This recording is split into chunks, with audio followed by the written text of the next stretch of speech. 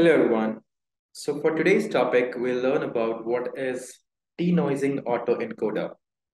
So the aim of this uh, discussion is to make you know about the denoising autoencoder in sufficient detail. Hopefully by the end of this, uh, you will understand that what exactly this is. So in the field of machine learning, as uh, befits a subset of artificial intelligence, is concerned with building the machines that can carry out cognitive tasks in human-like fashion. This is, however, easier said than done for a number of reasons. I mean, you know, humans have large kind of uh, body of background knowledge in our disposal. Even more fascinating, we have little conscious knowledge of how this came to be. As an instance, we really do not know how we learn our mother tongues. Uh, we just grow up speaking them, apparently. Secondly, not all the information we have is actually important. Humans have evolved to be able to discern the importance of different sources or the objects of information. We are capable of ranking the different particulars of a situation and making decisions regarding the more important particular for a given situation. So before going into the denoising autoencoder, what is an autoencoder? Have we discussed about it? Well, so an autoencoders are basically a neural network designed to obtain a compressed summary of data. This is a fancy way of saying that autoencoder is designed to understand the underlying intricacies that make up the data. The compressed summary learned is the essence of the data, and ideally having this summary would allow us to recover the data itself. So more or less, it's it's something which basically have the ability to make the data go compress and then go decompress at the same time that we can get back the originality of the data itself. Now talking about the um, uh, you know the denoising autoencoder. So the autoencoder, the denoising autoencoder architecture is designed as the composite of two main parts, basically, of course. One is the encoder and the second one is decoder. Just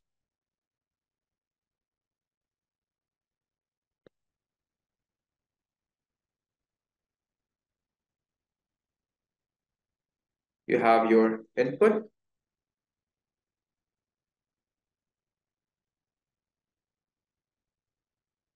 That's it. And this input is quite distorted. And uh, this thing is passed in the set of encoder. You have the encoding channels. Let's say these are your encoding channels. And uh, of course, by the end, you have your bottleneck, which is there in the between. I'll call this to be bottleneck. And then you have your decoder segment. You have your decoder segment. So this is your encoder segment. This is your decoder segment. So what happens? You have the image and let's say this is a input image and I can say that corrupted version of the actual data. So what happens? The corrupted version, the corrupted version of the actual data is passed into the encoder to produce the encoding. Of course, we know that you know once the image is there and it produces the encoding on top of it with the help of the encoder. This is my encoder and this is my decoder. So it produ produces uh, um, uh, the encoding with the help of encoder and uh, this is what we call as bottleneck or code embedding. Once it is there and it provides the um, encoding of that, this is what we call as a bottleneck.